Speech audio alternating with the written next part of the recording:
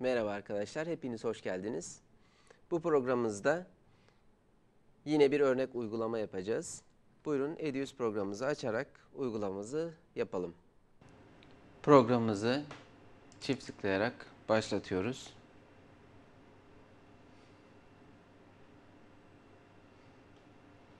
Yine kaldığımız yerden devam etmek için en son çalıştığımız projeyi aktifleyip buradan open komutuyla açıyoruz. Evet. Montajımıza devam edebiliriz. Neydi? Sese kurgu yani müziğe kurgu tabir ettiğimiz müzik değişimleriyle müziğin ritmine göre resimlerin değişimini sağlamak için burada dalga formu, waveformu görünümünü açıyorum. Birazcık daraltıyorum. Şöyle genişletiyorum timeline'ım. Bakın müziğim tam şu noktadan başlıyor. Biraz daha buradan genişletirsem daha hassas kare kare görebilirim. Bir kare ilerliyorum, bir kare daha ilerliyorum. Evet. Bu nokta iyidir. Bu noktadan itibaren müziği aktifleyip N harfine basıp kesiyorum. Ve klibimi de tam bu noktaya yaslıyorum. Şöyle bakın. Müziğe ısınmak için müziği ilk önce biraz dinliyorum. Şöyle dinleyelim.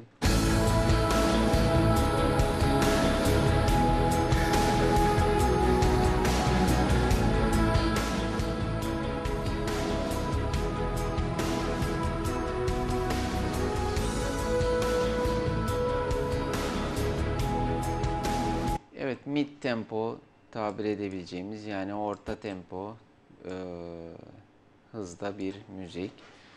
Bakın şimdi müzik değişim noktalarını nasıl sizinle birlikte bulacağız. Sayalım. Bakın. Şuralarda bir yerde olmalı bir ritmin e, değiştiği yer. Yine bakalım. Evet, şurada. Yaklaşık olarak burada. Bu kadar bana yeterli. Zaten biraz daha büyüttüğünüzde şöyle bakın. Şöyle o noktanın eee tabi müzikte şu anda eee, çok fazla enstrümanda olduğu için birazcık burası karışık gözüküyor ama ileriki zamanlarında müziğin daha net görülecek. Biraz da dinleyerek şöyle klibimi o noktaya küçültüyorum. Bakın şimdi. Evet bir sonraki klibimi yine müziğe göre kırpmak için buraya yaklaştırıyorum. Yine dinleyelim arkadaşlar. Şöyle. Şuralarda bir yerde olmalı. Evet. Buradan aktifleyip sağ tarafını kullanmayacağım için M harfiyle bu klibimi de kırpıyorum. Şimdi böyle bir sonraki klibimi de seçiyorum arkadaşlar. Yaklaştırarak şöyle. Biraz büyüteyim. Evet. Şöyle nasıl olsa bunlar fix planlar olduğu için kameranın içinde kamera hareketi olmadığı için kameranın içinde de öyle majör çok etkileyici bir hareket olmadığı için e, istediğim yerden klipleri kesebilirim. Yine dinliyorum. Şurada bir yerde olmalı. Evet burası. Yine sağ tarafını kullanmayacağım için keseceğim klibi aktifleyip M tuşuna basıp klibimi kestim. Bakın şimdi bir şeye dikkatinizi çekmek istiyorum. İzleyelim yaptığımız filmi şu ana kadar.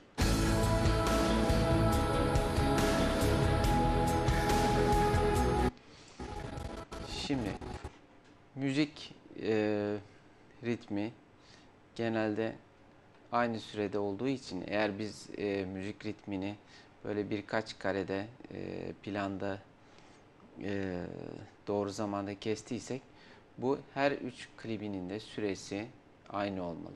Bunu nasıl en kısa yoldan öğreniriz? Klibimizi buradan çift tıklayarak buradan e, preview penceresine atarız ve burada duration komutuyla buradan bu klibin süresini 1 dakika 1 saniye 20 kare olduğunu görürüz. Yine aynı şekilde bir sonraki eee planıma tıklayarak ben buradan 1 saniye 18 kare olduğunu yani hemen hemen aynı boyutta olduğunu görüyorum. Bir sonraki planımı da tıklıyorum. Yine bakın 1 saniye 17 kare. Bu arada gitgide birer ikişer kare e, azaltmışım. Ama bir kare, iki kare müzik e, kurgusunda bu mid tempo bir müzik olduğu için çok fazla önemli değil. E, ama doğrusu bunların aynı sürede olması. Şöyle yapabilirim bunu. Başarabilirim. En kısa yolu arkadaşlar. Ve tekrar geri alayım ben işlemi. Elim alışkın olduğu için ben hızlı bir şekilde yaptım. Şöyle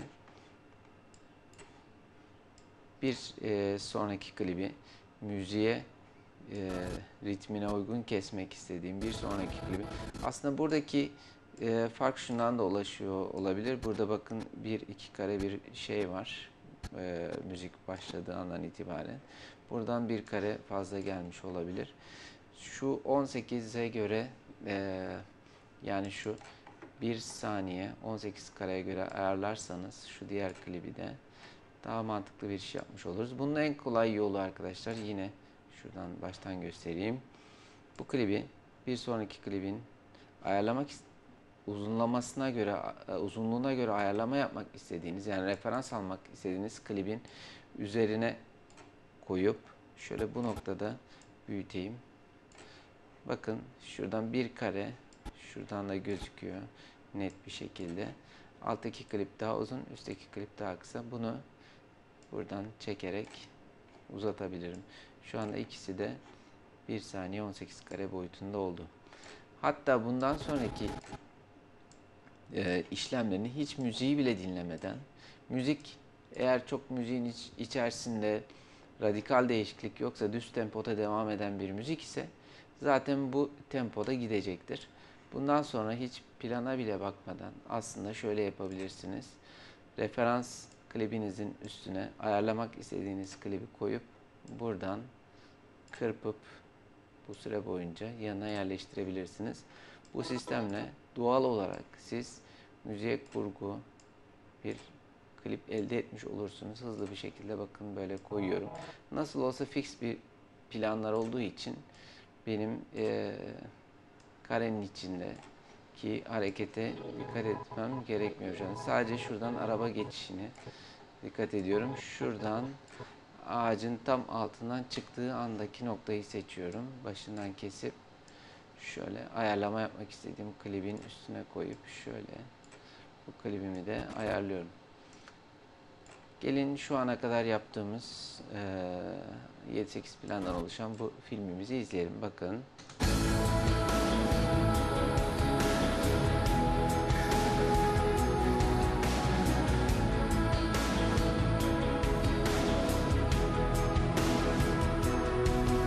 Ana kadar her şey gayet iyi diyor arkadaşlar. Şöyle bir daraltalım. Ne kadar klibimiz kaldı, ne kadar müziğimiz kaldı. Onu da görelim. Bayağı bir ilerledik. Müziğimizin yaklaşık e, dörtte biri kadarlık bir bölümünü, klibimizi tamamlamış olduk. Şöyle yine devam edelim arkadaşlar.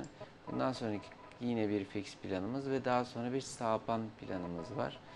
E, şunların buraya kadar her şey gayet güzel. Şu yakın planı da kullandıktan sonra şunu aslında şu ikisi arasında bir tercih yapmalıyız. Çünkü bu ve şu plan e, aynı yeri gösteriyor. Farklı ölçeklerde olmasına rağmen e, ikisi arasında bir tercih yapacağız. Ben panı kullanmaktan yanayım arkadaşlar. Şöyle ki panı kullanalım. Onu buradaki müziğe göre nasıl e, yapacağız onu da görmüş olalım. Buradan bunu siliyorum ve şu fix planımı da silip şu pan planımı buraya yaklaştırıyorum. Şimdi bakın arkadaşlar burada küçük bir trik bir numara yapacağız. Şöyle ki bakın yine bu klibi ayarlamak, referans almak istediğim klibin üzerine getiriyorum ve bu noktada bunu kesiyorum. Aktifleyip bu noktada kestim. Sonra tekrar bunu aldım. Bunu yapmamın nedeni artık biliyorum ki müzik e, ağır, e, mid tempo gider.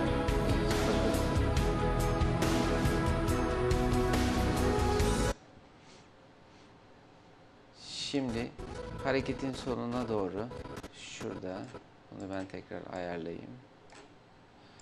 Şöyle şöyle bakın. Bu sefer klibin sonuna doğru ben bunu eee, sonundan eee, müziğe ritim gelecek şekilde bir bölüm seçiyorum ve buradan yine kesip şöyle yaklaştırıyorum. Şimdi bakın arkadaşlar şu sadece aradaki parçam benim müziğin eee, ritmine uymadı.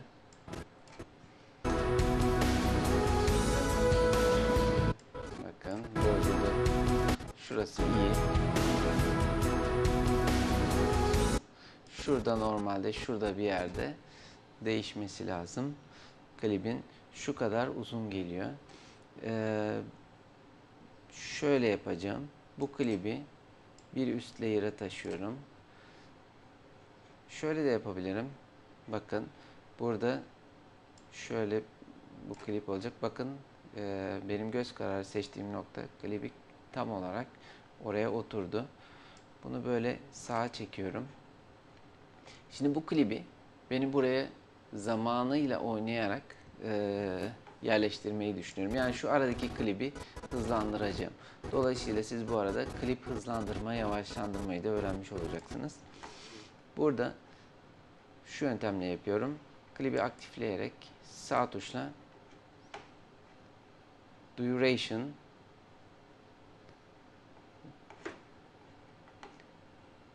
e, bir altında olan time effect e, menüsünden speedy tıklıyorum arkadaşlar.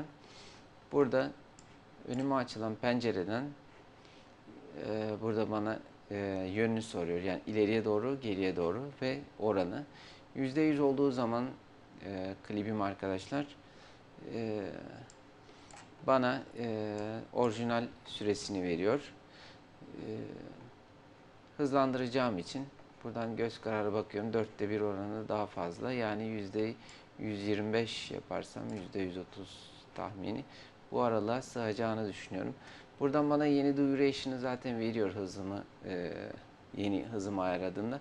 Neydi hatırlayacaksınız? Bizim bu kliplerimizin her birinin uzunluğu 1 saniye 18 kare. Eğer ben bunu 1 saniye 18 kare olacak şekilde burada yeniden ayarlarsam bakın şöyle 1.17 1 1.18 evet. Şöyle otomatikman bu aralığa sığacaktır. Tekrar bunu bu aralığa indiriyorum.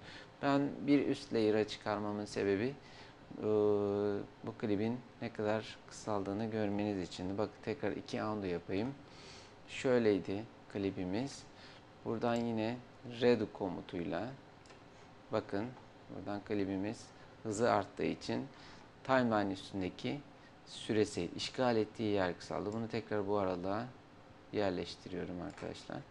Şimdi bakalım time efektimizi de uyguladık. Speed'imizi de uyguladık.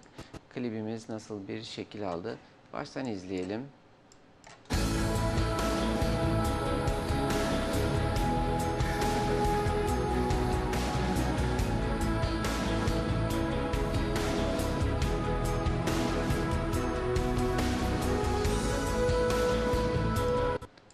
Burada %130'luk bir e, hız e, artışı olduğu için bunu çok e, etkili bir şekilde hissedemedik. E, dilerseniz şöyle yapalım. Bunu %50 daha da artırarak şu klibi yani şu anda izleme çubuğunun bulunduğu yere çekelim ve bir sonraki klibi de aynı şekilde hızlandıra e, ayarlayarak e, e, daha etkili bir e, klip elde edelim. Yani şöyle ki buradan yine sağ tuşla time effect speed verirsin. Bakın speed e, ile e, ayarlama yaptığım için hemen bana burada hızının e, orijinal hızının değiştiğini belirten bir check e, işareti gelmiş oldu. Şurada yine bunun da yarısı 1.17 tahmini neydi? 1 saniye 25 kare. 17'nin yarısı da e, yaklaşık 8 kare diyelim. 25 e, artı 8'in yarısı yani e, 16 17 civarı yaptığımda ben bunu yarısı kadar bir süre elde etmiş olacağım. Yani hızını buradan artıracağım. 18 kare yapayım ben. Yani buradan 18 kareye tekabül edecek şekilde. Şimdi 19 diyelim. Evet yaklaşık olarak geldi. Şöyle bir kare daha uzatacak şekilde ben yine ayarlayayım. Time Effect'ten, Speed'den. Evet. 20 kare olsun. Evet, biraz daha uzatalım. Time Effect'ten. Şöyle. OK diyorum. Evet. Şöyle. Şimdi izlersek. Evet daha etkili oldu. Hızımız daha e, anlaşılır oldu. Yine buradan da klibin sağ tarafını kesersem Şimdi ben ne yapmış oldum arkadaşlar? Şöyle görürsek bir ritmi ikiye bölmüş oldum. Şu iki klip aslında şöyle bakın şu e, iki e, bir ritmi ikiye bölerek bir e, ritim değişimi süresince iki klip kullanmış oldum. Bu da kullandığımız yöntemlerden biridir. Hem de hız nasıl ayarlayacağımızı gördük. Bakın.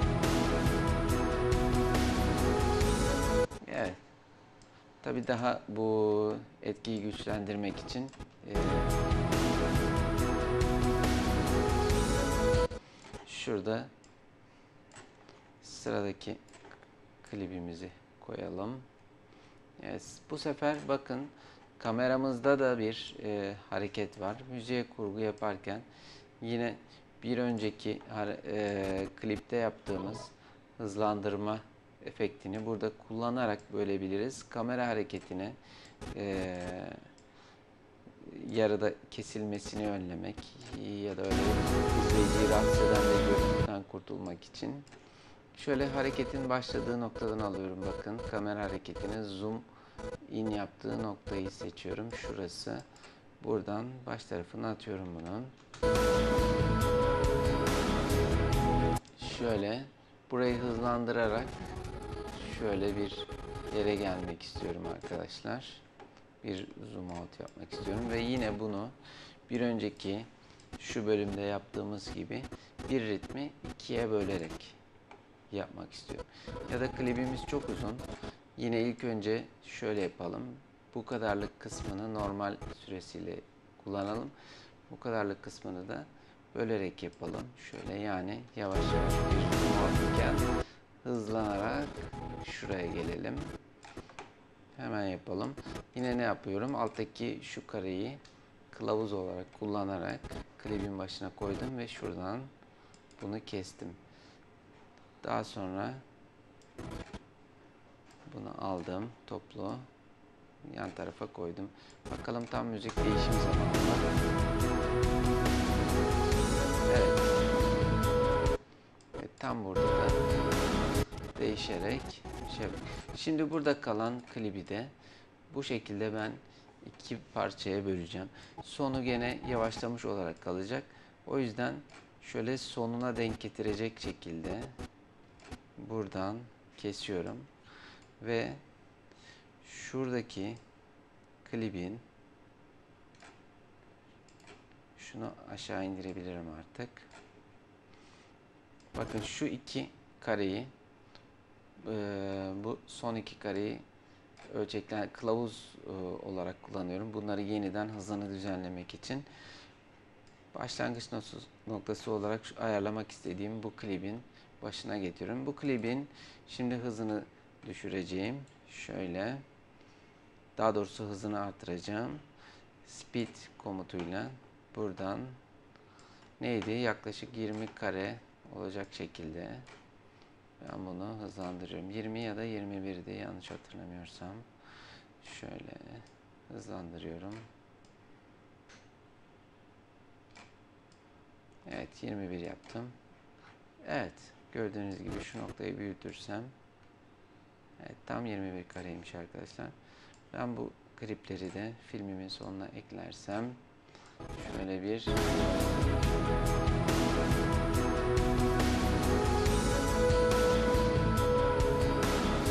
şöyle bir klip elde etmiş oldum gördüğünüz gibi. Devam edelim. Ee, kliplerimizi eklemeye arkadaşlar. Evet kalan kliplerimi de yaklaştırıyorum. Şöylece. Yine burada bir zoom out'um var. Uzunca bir zoom out'um. Zamandan tasarruf etmek için yine ben bir önceki kullandığım yöntemi burada da uyguluyorum.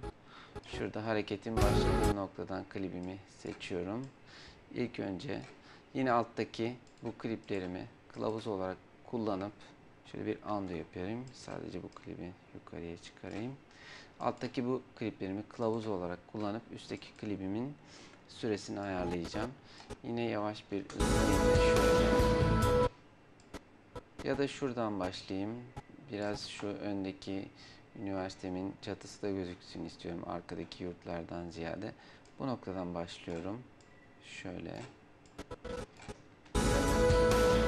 Şu kadarlık kısmı başta kullanacağım. Şunu buradan alıyorum. Buraya koyuyorum.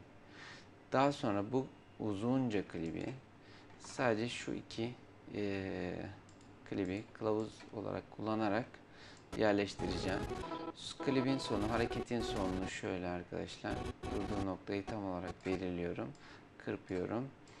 Klibin sonuna denk getirip aşağıdaki kılavuz olarak seçtiğim klibin e, bu noktadan şöyle kesiyorum. Bunu buraya koyabilirim. Daha sonra bu klibi neydi bizim klibimiz? 21 e, kare şeklinde kısaltırsam şöyle time effect'ten, speed'ten buradan duration'dan takip ediyorum. Buradan yukarıya doğru mouse'umu sürükleyip bunu alttan da duration'ı izleyip şuradan duration'dan 21'e kadar bunu çekiyorum. Hızını klibin artırıyorum arkadaşlar. Evet 24 oldu. 23, 22 ve 21. Evet OK dedikten sonra klibim otomatikman kısaldı. Bunu tutup buraya koyuyorum. Aynı şekilde bunu yaklaştırıyorum. Bakın nasıl bir hal aldı.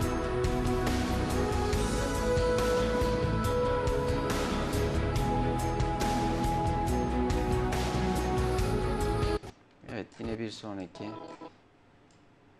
kareme geçiyorum. En son nerede kalmışım? Şöyle bir ağaç alanda kaldım. Şuna kesiyorum. Genelde izleyici önce bir e, olayın genelini sonra detayını görmek ister. Burada artık kamera hareketi olmadığı için yine ilk başta kullandığım e, genel ritim zamanı yani kliplerin hızını değiştirmeden bir e, kesim yapacağım. Şuradan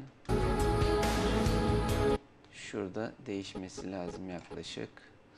Fix bir plan olduğu için. Yine buradan sağlamasını yapayım arkadaşlar. Bakın aşağı yukarı aynı uzunlukta birkaç kare sapmalar olabilir. Yine bunu kılavuz olarak kullanıp kısaltıyorum.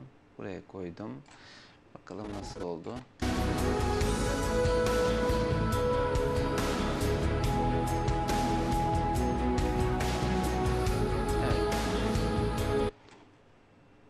Bir sonraki klibim.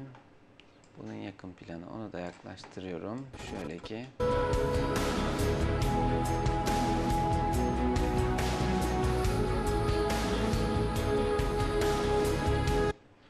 Değişmesi lazım. Dinleyerek de e, bu kesimi yapabilirsiniz arkadaşlar. Bir sonraki planım yine bir pan. Şöyle. Ama ben bunu kullanmak istemiyorum. Bunu atıyorum. Şöyle bir panım var. Şöyle bir yakın planım var. Tabi bu arada filmim eee, de kullanacağım planları be- belirlerken müziğimin süresini de hesaba katıyorum arkadaşlar. Şöyle ben bir önceki planı geri alayım. Şöyle yine buna da eee, şu eee, bir önceki yaptığımız işlemleri yaparak hızlandırma, yavaşlandırma şeklinde eee, bu alanı tamamlayabiliriz. Buradan sonra zaten bir değişiklik var. Bu arayı da yine burada yaptığımız işlemleri kılavuz olarak bunu kullanıp şöyle ki şurada bakın şuradaki işlemi yapacağız. Yine süre olarak başlangıç olarak şunu alıyorum. Bunu buraya atıyorum ve Şöyle tam hareketin bittiği yeri bulup sonundan şöyle klibi sonuna getirip şu kadarlık bölümü buradan kesiyorum. Daha sonra bu neydi hatırlayacaksınız. Ya şöyle şu klibi kılavuz alıyorum arkadaşlar. Biraz büyütürsem şu anda aktif olan şu klibi bu klibin süresini buna göre ayarlayacağım. Sağ tuşla ne yapıyorduk? Time Effect, Speed ve süresine kadar da 21 kareydi yaklaşık. 21 kare olacak şekilde bunu yukarıya doğru kaydırıyorum. Şöyle 23, 22 ve 21. Evet. Daha sonra bunu buraya koyup yanında küçük parçacığını da yaklaştırdığımızda bakın ne oldu.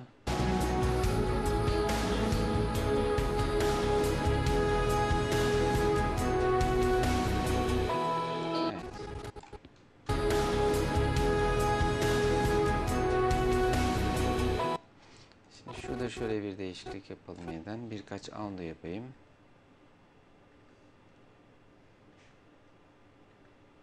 Şuradan klibin tam sonu hoşuma gitmedi. Onu düzeltelim. Şuradan hareketin durduğu noktayı şurada duruyor. Ben şurada keseyim.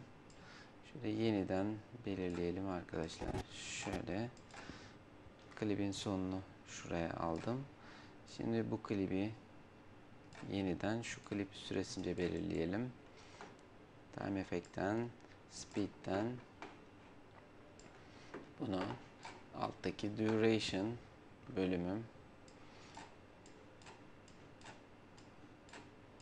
21 olacak kadar bunu ilerliyorum. 22 oldu. 21 gördünüz. Şurada. OK diyorum. Ve bunu koyduktan sonra bakalım ne olmuş.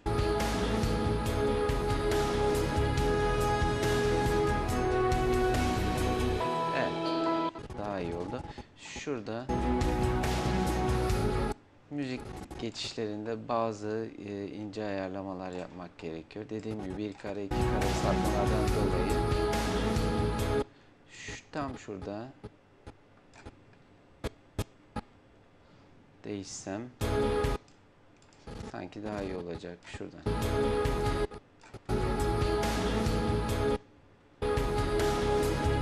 Şurada. Bir iki kare öne alıyorum. Şurada.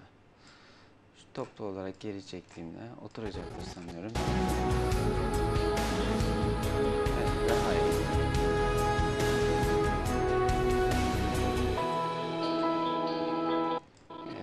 Sondaki küçük parçacığı da silelim. Burada insert modunda olduğu için e, o par aralı. Evet. Dersimiz burada bitiyor. Bir sonraki derste görüşmek üzere. Hepinize hoşçakalın diyorum.